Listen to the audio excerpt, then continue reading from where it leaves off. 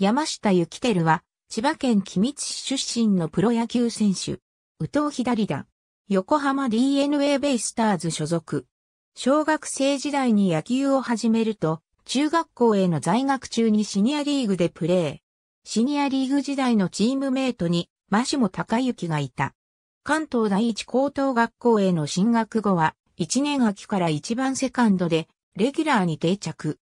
3年時の夏に、東東京大会で準決勝で、板山雄太郎ら要する成立学園高校、決勝で、三俣大樹要する習得高校に勝利し、第92回全国高等学校野球選手権大会へ出場。初戦の佐野日大高校戦では4打数3安打、2回戦の遊学館高校には1本塁打含む5打数2安打、2打点、重信慎之介ら要する早稲田実業高校との試合でも2試合連続本塁打を放ち、ベスト8進出に大きく貢献した。準々決勝の成田高校戦でも2安打を放ったが、敗れた。甲子園、通算4試合、打率5632本塁打4打点、1盗塁。高校からの卒業後に国学院大学へ進学すると、1年時の春から小造類種の座を確保。4年時には首相を務めた。東都大学野球では三塁手として4年時の春季リーグ戦で山崎康明からサヨナラ満塁ホームランを放つなど活躍を見せ、ベストナインを受賞した。2014年の NPB ドラフト会議で横浜 DNA ベイスターズから5巡目で指名。契約金3500万円、年俸840万円という条件で入団した。背番号は38。2015年には新人選手では倉本俊彦と共に春季キャンプを一軍でスタート。公式戦の開幕も倉本と共に一軍で迎えた。3月27日の読売ジャイアンツ戦で7回表に後藤武俊 G の代走として一軍公式戦にデビュー。3月29日の同カードでは代打で初打席を迎えたが4月1日に出場選手登録を抹消された。7月28日の対巨人戦に三塁手として7回裏の守備から出場。8回表の打席で高木京介から1軍初安打を放つと、9回表、西二塁で迎えた第2打席では、勝木良太からの敵地打で1軍初打点を記録した。8月の1軍公式戦では、二塁手として7試合で、スタメンに起用された。1軍公式戦には、通算で23試合に出場し、打率238で2打点を記録。シーズンの終盤からは、フェニックスリーグを経て、台湾で開催のウィンターリーグに参加している。2016年には、前年に続いて、開幕から1軍に登録された。7月14日のフレッシュオールスターゲームに、イースタンリーグ選抜の7番、三塁手としてスタメンで初出場。3打数1安打1得点という成績を残した。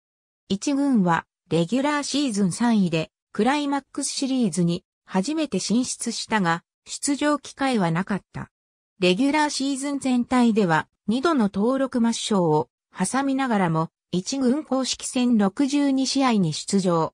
通算打率は224ながら代打に起用された試合では通算打率400を記録するなど勝負強さを発揮した。レギュラーシーズンの終了直後からフェニックスリーグと第1回 WBSCU-23 ワールドカップへ参加した。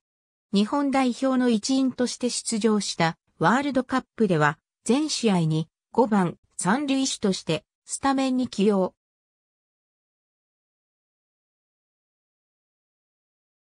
日本代表の優勝に貢献した。2017年には4月上旬から1軍公式戦21試合に出場。通算打率が143にとどり、内野の守備で送球ミスが目立つなど、過去2年ほどには活躍できなかった。1軍がレギュラーシーズン3位から進出した CES や日本シリーズへ出場せず、前年に続いてフェニックスリーグへ参加した。2018年には1軍でのレギュラーシーズン開幕3日目の3月31日にシーズン初の出場選手登録を果たしたが、出場機会がないまま4月5日に登録を抹消された。イースタンリーグ公式戦では5月下旬までに37試合の出場で打率333、3本塁打という好成績を残した。5月31日に再び登録されると、同日の対東北楽天ゴールデンイーグルス戦9回表から二塁手として出場。同点の10回裏西二塁で一軍公式戦のシーズン初打席を迎えると、松井裕樹から敵自打を放ち、チームをサヨナラ勝利に導いた。2019年は2軍でチーム最多の91試合に出場したが、シーズン終了まで1軍昇格はなく、プロイル初の1軍出場なしに終わった。2020年は7月に昇格を果たすと、主に代打の場面で起用され、一時は打率417を記録するほど好調だった。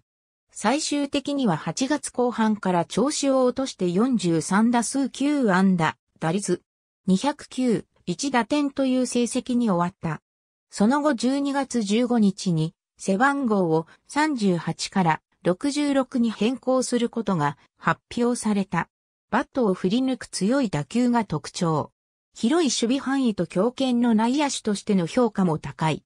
7歳上の兄、和樹も私学館高校で野球部に所属していた。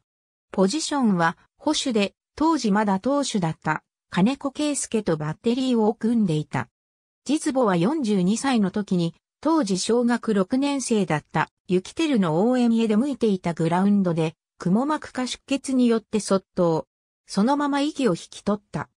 このためユキテルは、実母が急逝した42歳までプロ野球選手としてプレーを続けることを目標に掲げている。大学時代に寮でゴキブリをペットボトルに入れ飼育していたことから虫キングという愛称で親しまれているが DNA 入団後の2017年1月に参加したトークショーではどのような昆虫にも触れるだけであって虫キングと言われるほど好きではない。強いて言うならカマキリが好きだが、U-23 ワールドカップでは、現地に虫が多くて大変だったと打ち明けている。DNA 入団後の2018年には、大楽天戦の延長10回裏にサヨナラ安打を放った際に、一塁を回った時点で号泣。試合後に勇者の遺伝子が流れてからも、チームメイトの戸柱春高に抱きしめられながら泣き続けた。